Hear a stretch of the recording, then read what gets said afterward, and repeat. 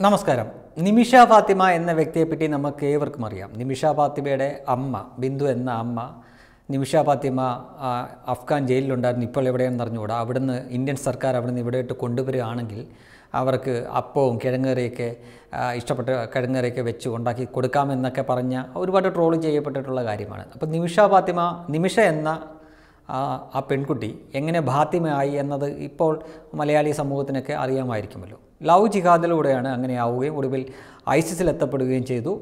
പിന്നീട് അവരെ വിവാഹം ചെയ്തുകൊണ്ട് പോയാൽ അവിടെ അവിടുത്തെ പട്ടാളവും അമേരിക്കൻ പട്ടാളവുമായിട്ടുള്ള യുദ്ധത്തിൽ കൊല്ലപ്പെടുകയുണ്ടായി. അങ്ങനെ ഇവർ അഫ്ഗാൻ ജയിലിലായി.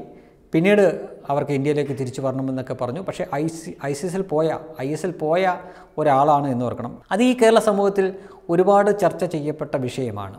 അപ്പോഴും ചില കോണിൽ നിന്നൊക്കെ ലൗചികാത ഇല്ല എന്ന തരത്തിൽ ഇങ്ങനെ ചില പരാമർശങ്ങളൊക്കെ വരുന്നുണ്ട്.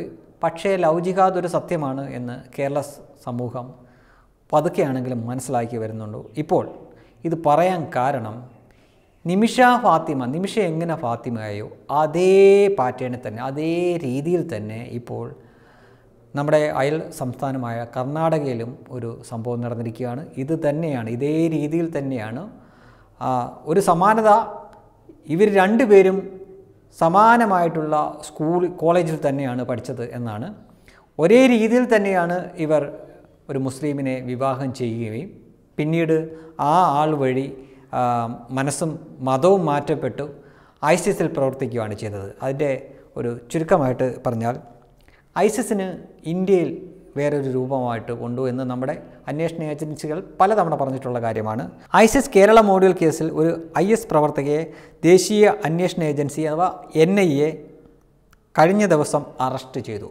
കർണാടക പോലീസിന്റെ സഹകരണത്തോടെയാണ് ഭീകരവിരുദ്ധ ഏജൻസിയായ I N A Deepthi Merla എന്ന മറിയത്തെ ഇവിടെ ശ്രദ്ധിക്കേണ്ട കാര്യം അവരുടെ യഥാർത്ഥ പേര് ദീപ്തി മർല എന്നാണ്. അവരിപ്പോൾ മതം മാറ്റപ്പെട്ട് മറിയം എന്ന പേരാണ്. മറിയത്തെ അറസ്റ്റ് ചെയ്ത്.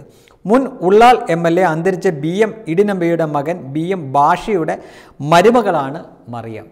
ആ ബന്ധങ്ങൾ എവിടെയൊക്കെ കിടക്കും നോക്കുക. ഒരു കോൺഗ്രസ് എം എൽ എയുടെ മകന്റെ മരുമകളാണ് ഈ വ്യക്തി. അപ്പോൾ ഈ ജിഹാദികൾ എവിടെയൊക്കെ നുഴഞ്ഞു കയറിയിട്ടുണ്ടോ എന്ന് ഒന്ന് ചിന്തിച്ചു നോക്കുക. ഉള്ളാളിൽ നിന്ന് കർണാടക നിയമസഭയിലേക്ക് മൂന്ന് തവണ എം എൽ എ ആയി തിരഞ്ഞെടുക്കപ്പെട്ടു. ഐസിസ് ബന്ധമുണ്ടെന്ന് സംശയിക്കുന്ന ഭാഷയുടെ വീട്ടിൽ കഴിഞ്ഞ ദിവസം എൻ ഐ എ റെയ്ഡ് നടത്തിയതിന് പിന്നാലെയാണ് മറിയം അറസ്റ്റിലായത്. മംഗലാപുരം സ്വദേശിയായ അനസ് അബ്ദുൾ റഹിമാന്റെ ഭാര്യയാണ് മറിയം. ഇതിന്റെ സമാനത അതായത് നിമിഷ ഫാത്തിമ കേസും ഇതും തമ്മിലുള്ള സമാനതയാണ് ഇനി പറയാൻ പോകുന്നത്. കുടക് ജില്ലയിൽ നിന്നുള്ള ബണ്ട് സമുദായത്തിൽപ്പെട്ട മറിയം ദേരളത്തെ ഒരു കോളേജിൽ ബി ഡി എസ് പഠിക്കുമ്പോഴാണ്. അതെ ഇതേപോലെ തന്നെയായിരുന്നു നിമിഷയും. ബി ഡി എസിന് പഠിക്കുമ്പോഴാണ് ഈ മറ്റൊരു ആളുമായിട്ട് പ്രണയത്തിലാവുകയും മതം മാറ്റപ്പെട്ട് അഫ്ഗാനിലൊക്കെ എത്തുകയും ചെയ്യുകയുണ്ടായത്. ബി ഡി എസ് പഠിക്കുമ്പോഴാണ് അനസുമായി പ്രണയത്തിലായത്. പിന്നീട് ഇസ്ലാം മതം സ്വീകരിക്കുകയും മറിയം എന്ന പേര് മാറ്റുകയും ചെയ്തു. ഐ എസ് എൽ ചേരാൻ ആളുകളെ പ്രേരിപ്പിച്ചതിനും പണം സ്വരൂപിച്ചതിനും പതിനൊന്ന് പ്രതികളെ എൻ ഐ എ നേരത്തെ അറസ്റ്റ് ചെയ്തിരുന്നു.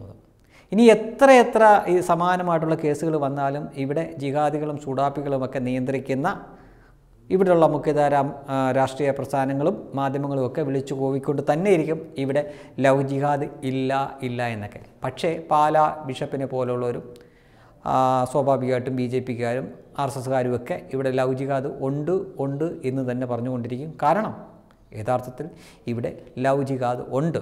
പിന്നെ അത് പോലീസിന്റെ കേസിലോ കോടതിയിലോ അങ്ങനെ ഒരു പരാമർശം വരാത്തതിന് കാരണം ലവ് എന്നത് ഇംഗ്ലീഷ് വാക്കും ജിഹാദ് എന്നത് അറബി വാക്കുമാണ്. ഇത് രണ്ടും കൂടെ ചേർത്ത് അവിടെ പരാമർശിക്കപ്പെടാറില്ല എന്നതുകൊണ്ടാണ്. യഥാർത്ഥത്തിൽ ഇങ്ങനെ വിവാഹം കഴിച്ചു പിന്നെ പ്രലോഭിപ്പിച്ചോ ഭീഷണിപ്പെടുത്തിയോ മതം മാറ്റി തീവ്രവാദി സംഘത്തിൽ ചേർത്തു അങ്ങനെ കൊണ്ട് കൊല്ലുകയോ കൊല്ലിക്കുകയോ ചെയ്യുന്ന സംഗതികൾ ഈ ഇന്ത്യ മഹാരാജ്യത്ത് കഴിഞ്ഞ കഴിഞ്ഞ കാലങ്ങളിൽ നടക്കുന്നുണ്ട് ഇപ്പോഴും നടക്കുന്നുണ്ട് നാളെയും നടക്കുന്നുണ്ട്. അതിനി എന്ന് ഓമന പേരിട്ടാലും ശരി മറ്റെന്ത് പേര് വിളിച്ചാലും ശരി അങ്ങനെ ഒരു സംഗതികൾ ഈ രാജ്യത്ത് നടക്കുന്നുണ്ട് എന്നത് നൂറ് ശതമാനം ഉറപ്പാണ്. Web desk Tatwamayi news.